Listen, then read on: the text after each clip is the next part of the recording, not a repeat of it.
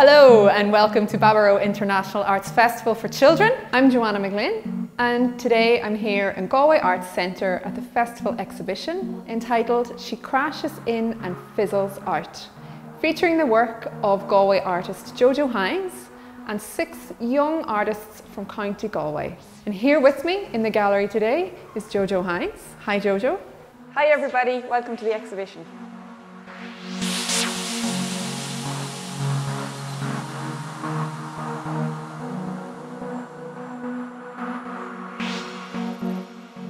Looking around the gallery today, Jojo, there's so many different elements to this exhibition. Um, there's recognisable features from creatures, body parts, wonderful colours, textures, and I just wonder if you could tell me a little bit about where your ideas come from.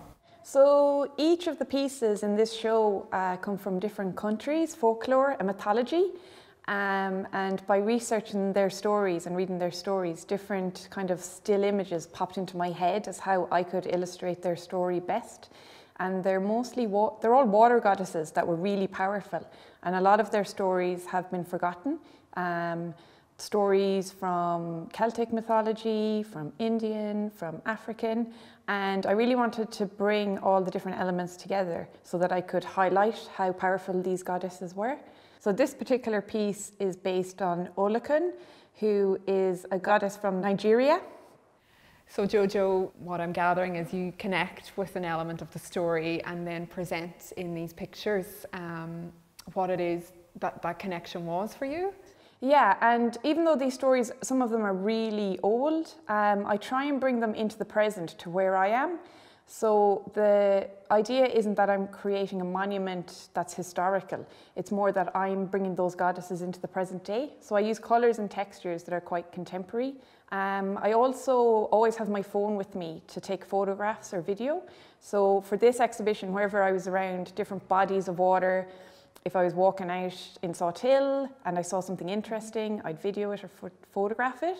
But also when I was traveling around, so I have images of geysers from Iceland, waterfalls, and the coral reef in um, when I went on holidays.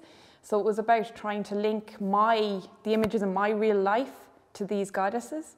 Um, so they weren't based on kind of old images. It was contemporizing them, and I think in some of them you can see that. So some of the goddesses have iridescent nail varnish.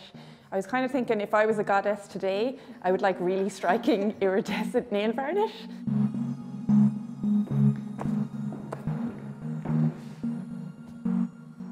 So Jojo, in the exhibition there's lots of different styles of work.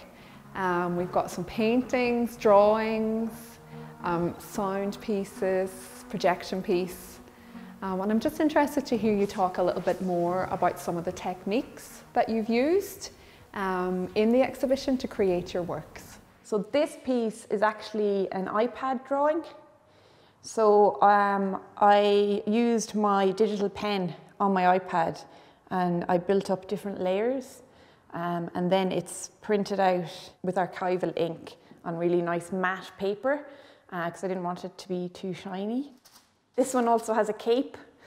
The story behind this one is about Gaillimh Innion Breizil, who was a Galway goddess. And this nearly looks like a cloud almost, but this was actually taken from a really old map of Galway and it was a rock that had an inscription on it that commemorated Gaillimh Innion Breizil. And in this image, I wanted to show that she's alive and well and that she's flowing through the whole city, even though we can't see her, and out into the bay, and that our whole city and county is named after this mythical woman that whose story has been lost. So I wanted it to come out past the frame and to shimmer out and to show that she was just this, it's this magical story.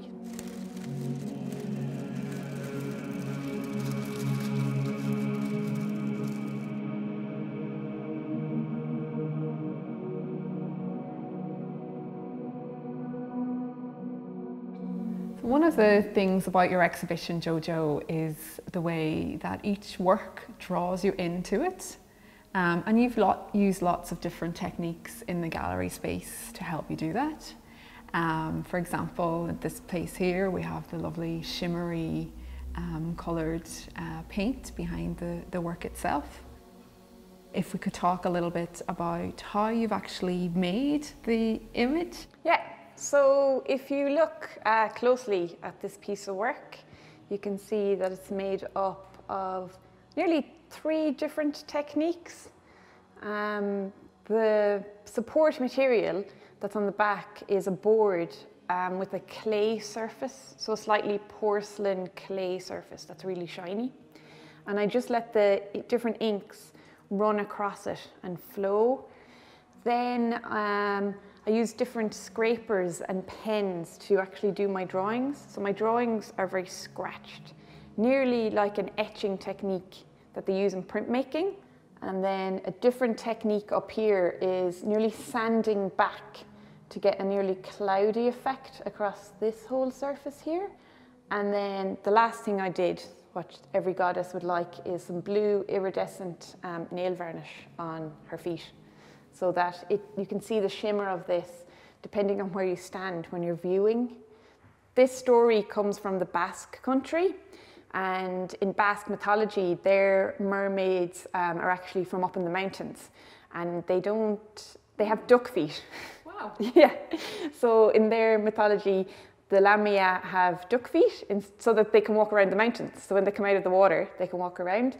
Then with the background for the walls, I wanted to kind of create, across Ireland, if you're traveling, there's loads of grottos um, with the Virgin Mary in it. So I wanted to create this kind of adoration or grotto type effect so that you can sit and kind of adore this goddess the same way you would. Um, so using the blue, but also painting it in a way that kind of represents water and kind of flow. And I just, can I just draw you back to, you had a word there for uh, a mermaid that lives on land? I don't think I'd heard that before. Yeah, so these particular ones are called Lamia. And Lamia. the Basque country. Yeah, so it's the Lamia. They either have duck feet um, because they live up in the mountain springs. But of course, in our own Celtic mythology, the Selkies could actually come ashore as well.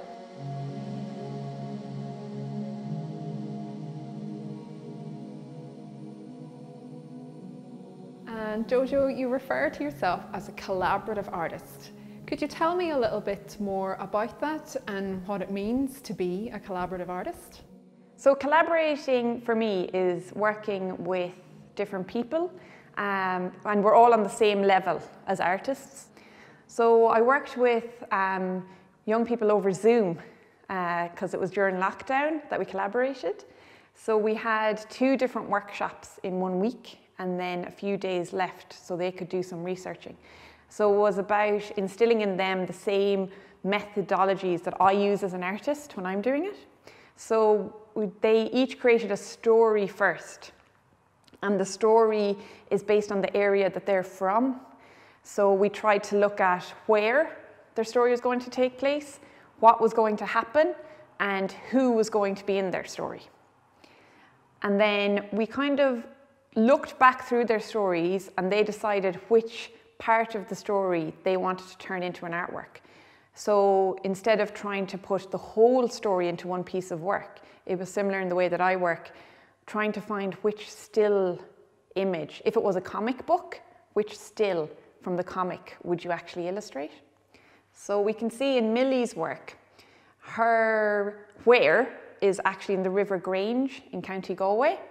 Her who is Cuan, who is this kind of octopus mermaid being. And within her story, she spoke about um, the fish and the farmers and some of the um, silage bags um, that were in the water. And we used a range of techniques. So I taught um, each of the young artists how to mix from blue kind of in a gradient or an ombre effect to light blue, or in some of them you'll see it goes from dark to light and the blue is in the middle. Um, then I left it up to them. Once they had a concrete story and I was confident that they knew which part they were going to illustrate, um, I left it up to their own artistic imagination to decide what way they wanted to do it. And I think you can see that in the show because each of the artworks, even though we all did the same workshop, they're quite different. They have some similarities and the same thread going through it. But because each is made by a different young artist, they're all individual pieces. Um, I like to keep a framework but then keep it loose, the same way I do my own work, so that the artist gets confidence to use their intuition, um, which is just kind of, oh, I want to put this here, and your brain will just go, cool, I'm going to put that there, rather than overthinking or over directing. For me, very much collaboration is working together, but not working so closely that we're all making the same work. So we all have our own individual outcomes. So you would sum up collaboration as working with others and recognizing each other's skills. Yeah, I think we're all different. And I think when you're working with other people, you, I don't want them to make my artwork. That's really important that we're not all making my artwork. Um, I feel that no matter what age I'm working with, they're an artist in their own right and they should be making their artwork. And then I'm helping them to make their own artwork and there is a kind of a cross um, pollination of ideas between our artworks. So our workshop was actually in June as part of Cruinniú na nÓg, and then I told them to keep working on it over the summer, the same way that I would as an artist. So we were kind of working at the same time, even though we were all far apart and in different homes, and then they could check in to ask different questions. They came up with some really unusual techniques that I wouldn't have thought about. Um, and I think they took some ideas from my work that I showed them at the start. So I showed them some of my own art pieces so that they could get some ideas, but giving them the freedom then to take it on a journey of their own.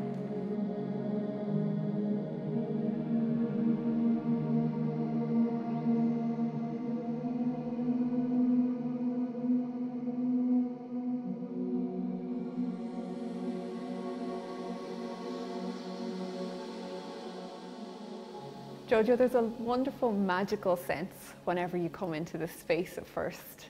Um, just reflecting on when I walked in yesterday and you know, there's a lovely sense of movement and yet there's a stillness. Um, there's a coolness of a river and yet there's sort of a shimmer of magic. Um, and I'm really interested to know a little bit about, you know, how you've achieved that in the gallery space um, and especially how you've like used fabric, which is a really unusual um, way to think about hanging a picture. So I wanted a really luxurious fabric that was kind of linked to maybe if you were a queen. So you have this velvet as this luxury or these theatrical kind of curtains that drape down. And I wanted to give them that movement of kind of like water but as if you got water and it was flowing and you press pause so that it's suddenly like just frozen. Um, and it, it shines really nicely, um, just like on a sunny day when the water hits off the sea or the lake, you get these kind of ripples um, that shimmer through.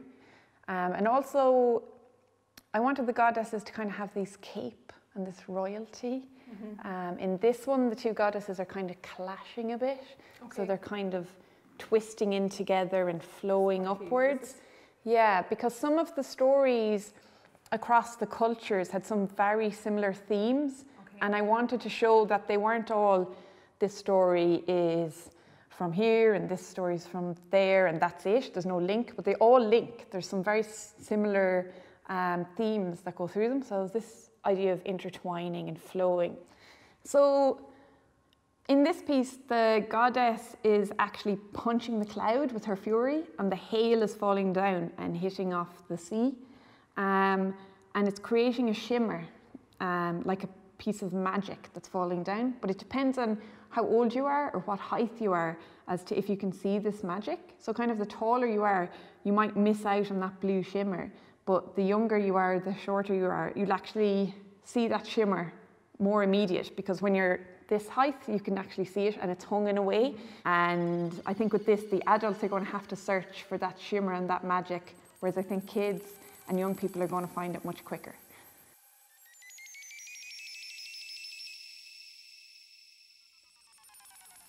Sometimes it's nice to simply sit with an artwork and ask yourself, What do you see?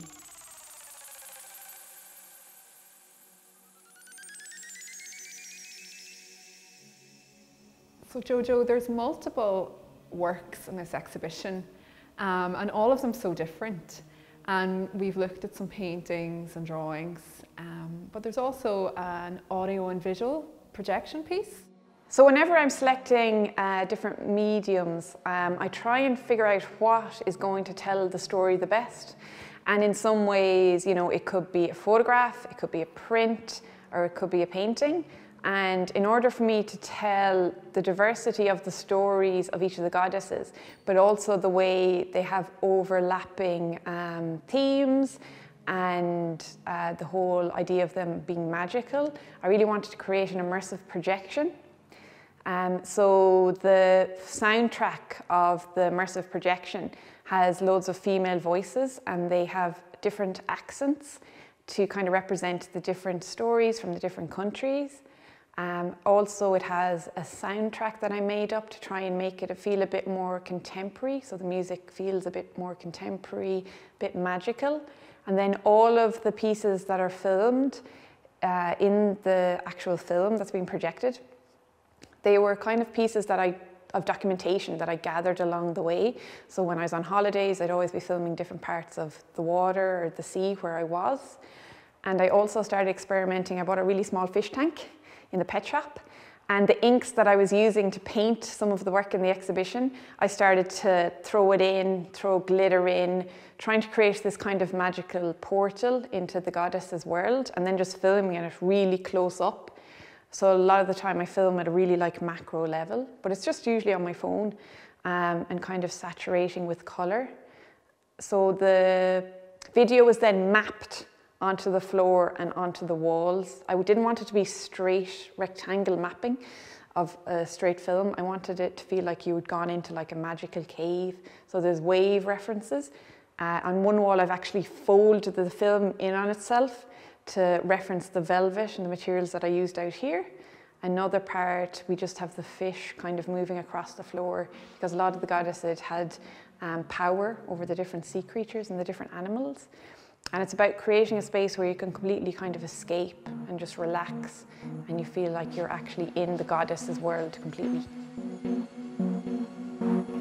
So here you go into the magical goddess's cave. She crashes in. She who came before everything else. Surf generating at her core fierce goddess who forced the hail to fall from the heavens with her fury. Creating whirlpools and big storms, making water navigation tricky. Fishermen lured into the sea with her supernatural powers. She is rising, taking ships with her!